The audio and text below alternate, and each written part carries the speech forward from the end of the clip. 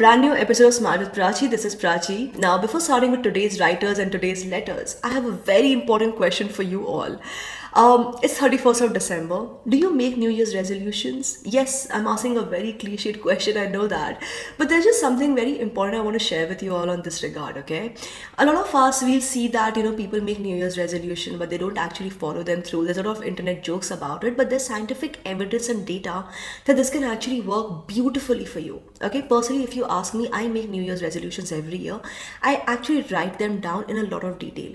There's a reason why this works for me. There are two reasons for this. Now, number one, there's actual scientific data to prove that uh, when you have a bigger target in life, for example, if your target in life is to say retire early, by the age of 45, you want to retire.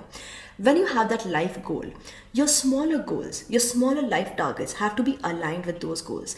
Otherwise, you're moving in all directions however when you have like okay you know what? I need to retire by the age of 45 so i need to have these investments. I need to have savings. I need to be earning this much. If i don't earn this much i need to switch my job and things like that. It gives you direction. It helps you achieve that goal. It is very very it's a very good way of achieving your bigger life goals okay? When you write them down in smaller bits and pieces. And number two uh, here's how i like to do okay? Here's what i like to do. I don't write my new year's resolutions in a vague way I write them down very specifically. I break them down as to how I'm going to achieve these targets.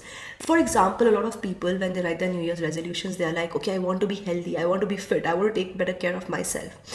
Instead of writing, join the gym from January 1st, instead of doing that, instead of saying, stop eating so much of junk food, write down what your problem areas are. For me i have been planning my new year's resolution since i think november now you know. So plan it out. How do you plan it out? Instead of just joining the gym on 1st of january and quitting after 10 days which is very likely to happen it happens to a lot of people you say okay you know what? I'm not really in the zone to start working out right away. So in the month of january for every day every day in january or 5 days a week in january i will go for a walk for 15 minutes 15 minutes walk every single day for January. In February, 15 minutes walking and some stretching and some basic exercises. From the month of March, I will join a gym and I will find a personal trainer to force me to go to the gym every day in the month of March. From the month of April, I'll get used to it as I'll be able to do gymming on my own. So by the end of next year, December, you probably will be, you know, healthier and more fit right? So things like that. You break it down find out where your problem areas are and see. So when you have a layout it's just easier to achieve your targets. So uh, yes guys that's what i want to start today's video with. And now moving to the first letter of the day. Uh, let's call a first writer of the day fan.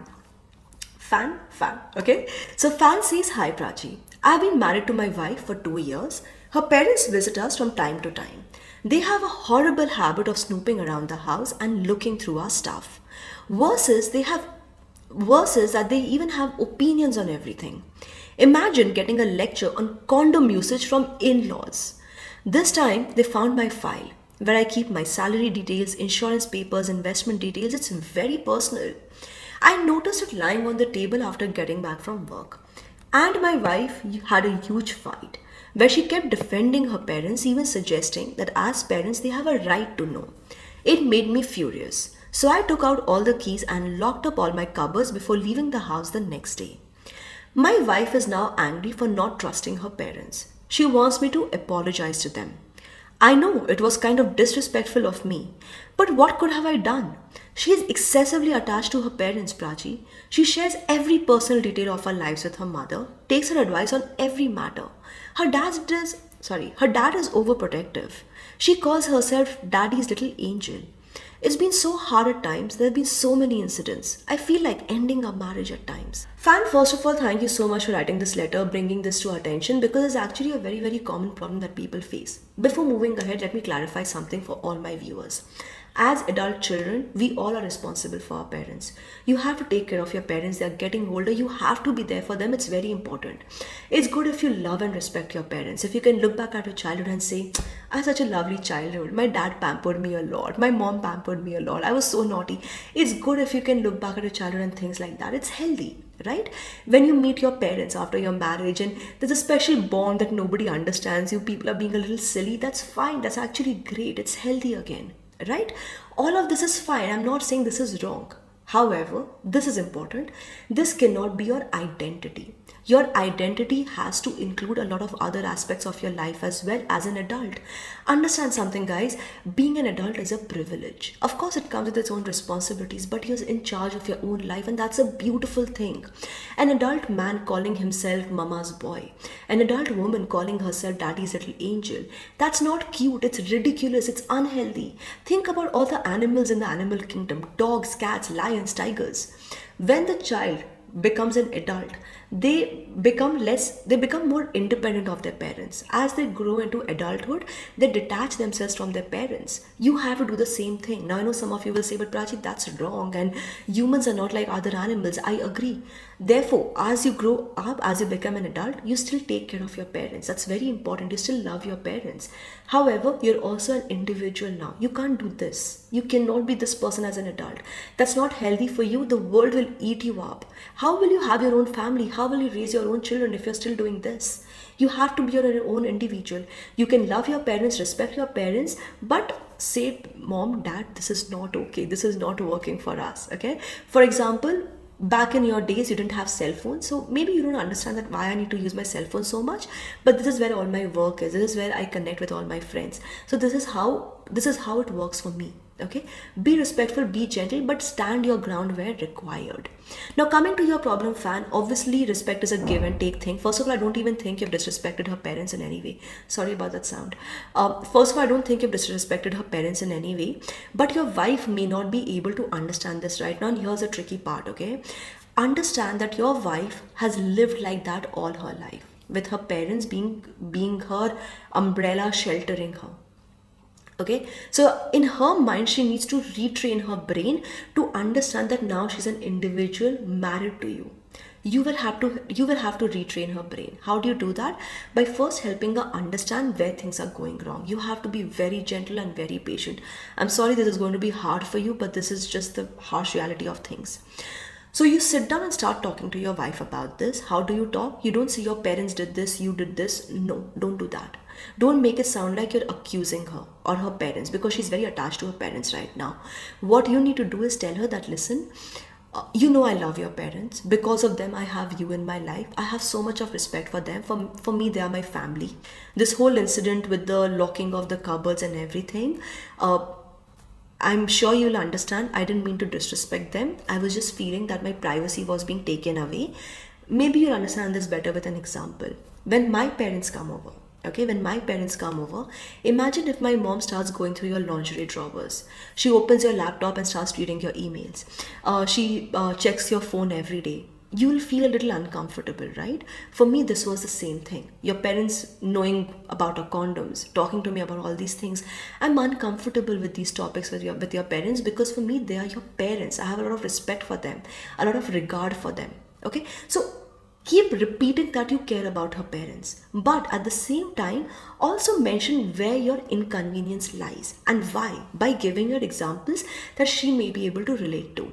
So when you do that, this helps okay? In the conversation you can also talk about how you're not asking her to prioritize you over her parents. As an individual as every individual you can have multiple things in your life which are really really important. Okay? You don't have to make one more important than the other. That's fine. Right? I can love my parents. I can love my spouse. I can love my pet. I can love i don't have children but i can love my children. I can love my career. Okay? Now for example an individual okay goes to the office. Is a very important day in the office. Okay you can give this example to your wife. There's a very important day at office but suddenly there's an emergency at home a medical emergency. He gets a call. What is he supposed to do? No matter how important his career is to him that day the family needs to take priority because there's a medical emergency right? That day the family becomes more important. However for example this even happened with me and my husband. Uh, this was a third anniversary and uh, you know, it was a very special day. We had planned the whole day, you know, everything was there. Then suddenly something really important, really, really important comes up at his office. So we are like, you know what, we can always celebrate the anniversary tomorrow. Work is really important today. You go and you first focus on your career. That day, the career became more important than family right? So you can prioritize things. Discuss it in a more mature way. Once you start having more open communication, she's more likely to understand your point of view. And you know, she can very gently tell her that I don't want you to fight with your parents. Just tell your parents that, see, uh, mom, you know what, don't look at his papers. No, he gets very annoyed. He doesn't like it. Say it in a polite, respectful way, but stand up for you. Okay? Um, okay, so moving to the next writer of the day who we're gonna call Light. First writer was Fan, second writer is Light. Light says, Hi Prachi, I'm a 23 year old girl who just landed her first job earlier last year. The pay isn't much, but it is fine for now. Because of this, I decided to live with my sister and her husband since it's the same city. Now they have a two year old child and expect me to help take care of him. The last three weekends, I've not been able to step out even once with my own friends because they make their own plans and leave me home alone to babysit. Even for New Year's, I could not make any plans. Two days a week, I also have work from home, so my sister has taken up vocational courses on those two days. She is out for the whole day. How am I supposed to work from home and take care of a crying, screeching baby at the same time? She hates the idea of getting a nanny to take care of the baby, so that's out of question entirely. I found out recently that my sister is planning to get pregnant again, so I asked her how she plans to take care of the second child. She casually pointed out that it's no issue since I will be there to help. It really set me off.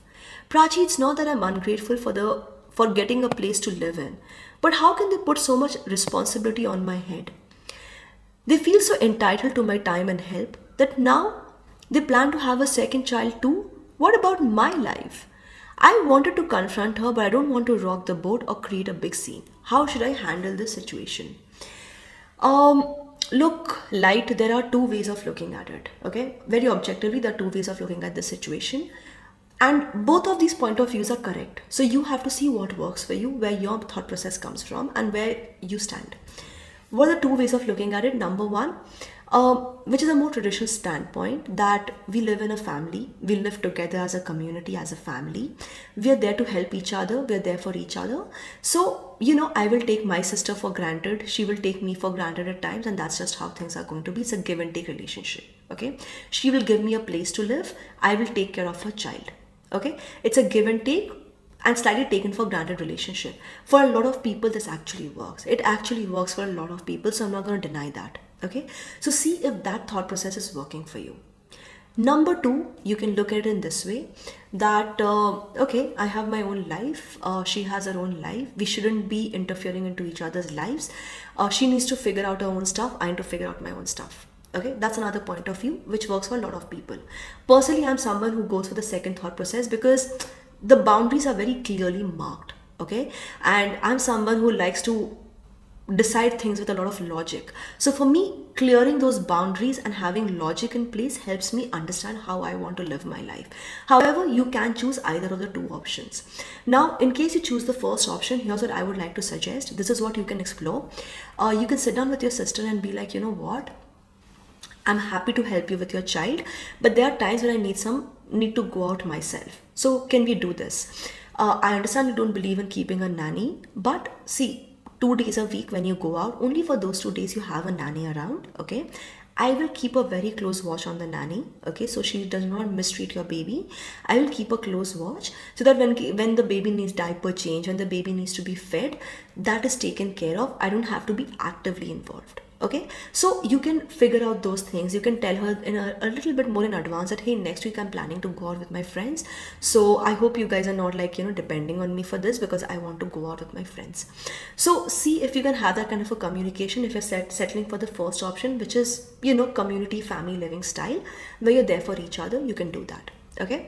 Uh, however if you feel that okay that's not your way of life and that's not going to work your sister's not going to listen she will want you to be more involved second option like i said the more practical option is to you know understand that she has her own life you have your own life. So very simply you can just go and tell your sister that hey listen um, thank you so much for giving me a place to live but i'm actually thinking of switching my jobs. I may have to leave the city soon okay? And when you have this communication when you have this conversation you start looking for a new job. If not a new job then you at least start thinking of moving out. There are a lot of co-living spaces pg a lot of options which are also very affordable affordable housing options. You can actually do that as for my opinion, how I personally feel about things, guys, see, it's a fact, okay? It's a fact. Um, there are no free lunches, okay? When you take favors, you have to return the favor. And uh, sometimes it's just hard to balance it, okay? When it comes to things like favors, it's very subjective. It's not like you know it's it's not like a weighing scale where you can weigh them against each other for you it may look like you're taking a small favor and giving back a lot more in return. For them it could be the other way around. So there's no way to weigh them. The best thing to keep in mind is that there are no free lunches in life. When you take favors you have to return the favors. So yeah you know you pick and choose accordingly so yes guys that's all i uh, wanted to share with my two writers of the day fan and light. Uh, share your own comments in the comment section below. If you have similar stories to share share them with me in the comment section below. I would love to hear from you guys. Bye bye have a great weekend everybody. Have a great new year's everybody. Have lots of fun. Stay safe. Stay very very safe. That's very important. Take care and bye bye bye